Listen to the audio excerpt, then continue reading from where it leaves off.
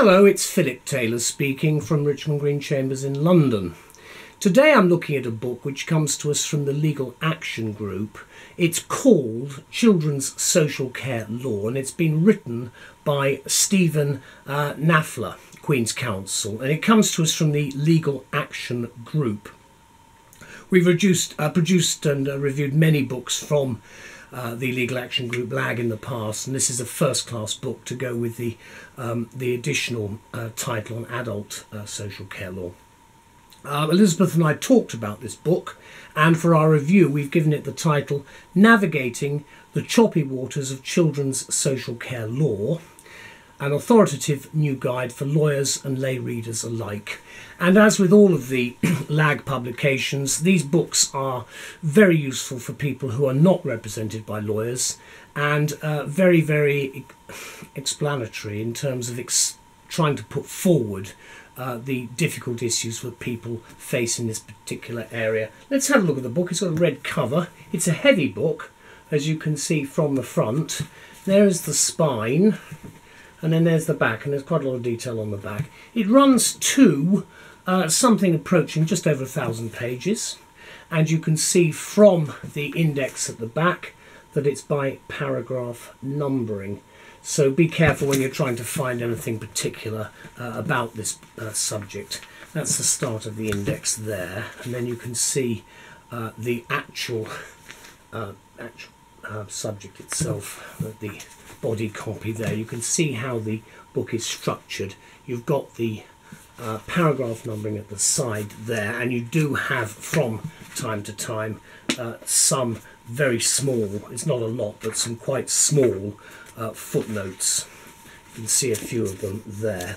Can I also point out that you've got a couple of things. You've got a useful little uh, index for each chapter, which I found very helpful. And of course, we do have the key points, which are set out nicely. At the front of the book, we've got the main page there, and you can see the main introduction, which sets out what the purpose of this book is. And he's talking specifically about referring to his other work, the uh, Community Care Casebook.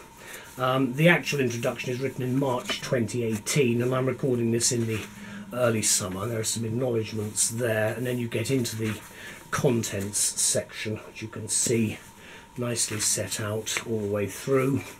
There are, in fact, a total of uh, 30 uh, chapters, I believe, in total. Yes, 30 ending with inquests right at the end. Then, of course, there's the case law at the uh, in fact there's a table of cases. There are some cases at the back specifically as well but that's actual index of cases. And then after the index of cases we've got a table of statutes. And then after that some statutory instruments. And then some EU legislation. That won't go away because we're leaving. That information will be with us for a long time to come and then international legislation as well, which is also very important. This is becoming a, a, a, an important feature now of many publications. And what I do like about this book is there's a proper table of abbreviations as well, which gives us some help in trying to determine what what some of the abbreviations mean because it's so easy to forget what some of these things actually mean and then it can be a bit embarrassing later on. As I said, you've got the nice index for the specific parts, and then you go into the actual chapters, and you can see how it's set out. Um, again, with case law and everything else. Um, what you've got right at the beginning is a more detailed uh, set of cases that are raised, and then, of course, you've got the key points, then the introduction, and so forth, running all the way through. It's an important work and very much part of the house style of the Legal Action Group, and I'm very delighted to be asked to review this today because from uh, newly minted graduates to seasoned family lawyers, I suppose I'm one of the latter group now, there's many a practitioner out there who, experienced or not, has struggled to cope with the complexities of children's social care law. I, like everybody else, need a lot of assistance, and this book gives it to us. Here, then, um, help is at hand uh, in the shape and form of this brand new and authoritative text recently uh, launched by the Legal Action Group. And true to their traditional remit, LAG have produced a helpful and formative guide to uh, an ever changing, ever expanding area of law. And uh, it's bulky, it's over a thousand pages, and it's accessible though, logically structured, straightforward to navigate, and easy to use. And as I've indicated, this is useful for people who are not represented, in other words, litigants and personal unrepresented parties. The book commences with a thorough and clearly argued exposition of the core principle, uh, conspicuously close to the heart of the author, Stephen uh, Knafler, Queen's Counsel. This specifically is, quote, the duty to treat the best interests of the child as a primary consideration. In other words, Section 1 of the Children Act, again, in another guise, um, paramount importance and so forth. So it's exactly the same test. We're reminded, of course, that this principle is, is found also at Article 3 of the UNCRC, which, as the author um, points out, illuminates and demonstrates all further states, as set out, for example, in the um, World Health Organization Convention, the European Court of Human Rights, and the U- and UK legislation and case law itself. And it's surprising, then, he argues, that it is not enshrined in UK primary legislation. Well, they've got other things on their mind at the moment, but I do take his point because there's a lot of stuff which is still not enshrined. And the author then calls for an overhaul of uh, children's social care law in England as has been done in Wales, and that is long overdue. Whether that will happen is another matter, but it's one of a long list of, of things that need to be done.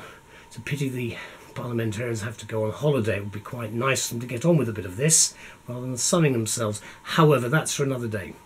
And however, also, after all the years, the author complains, and without any more pussyfooting about, the fundamental duty at Article 3 should be enacted uh, should it be enacted, in fact, is that it requires all public bodies and private persons, all courts and all administrative bodies, to treat the best interests of the child as a primary consideration.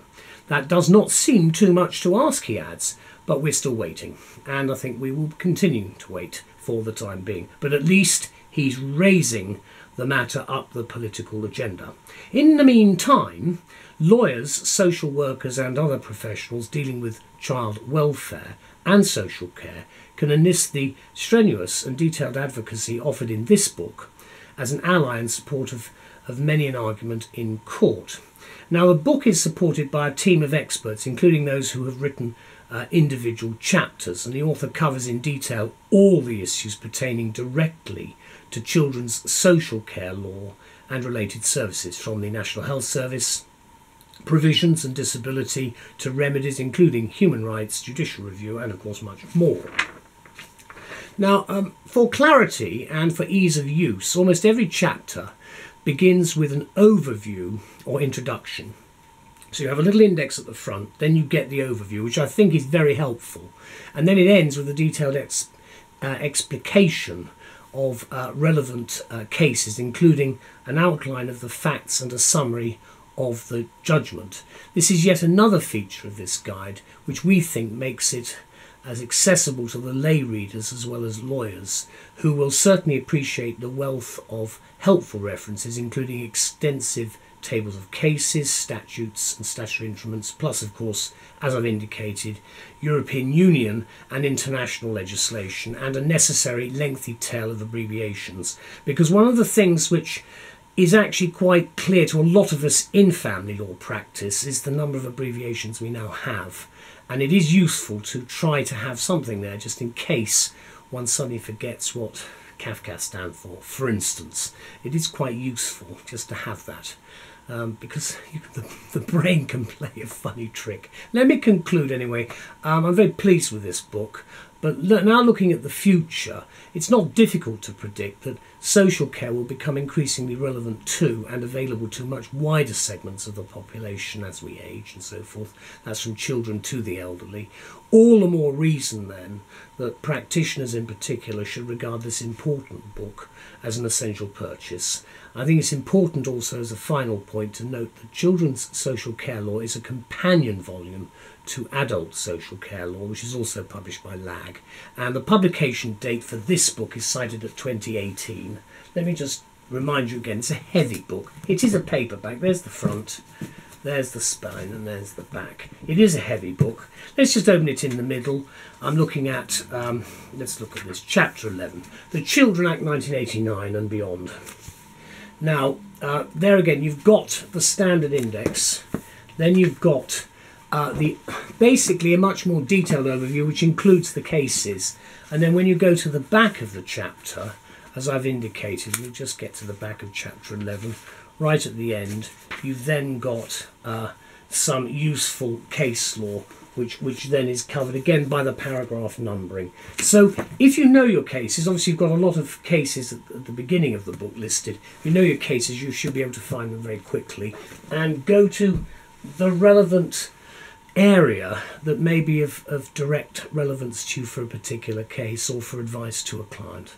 Anyway, on behalf of all of us practicing and those involved in the court process, a big thank you again to LAG for making our lives so much easier. We are greatly indebted to you for these books and thank you again for producing a first class work. And of course, I don't forget Stephen, who's done a wonderful job again.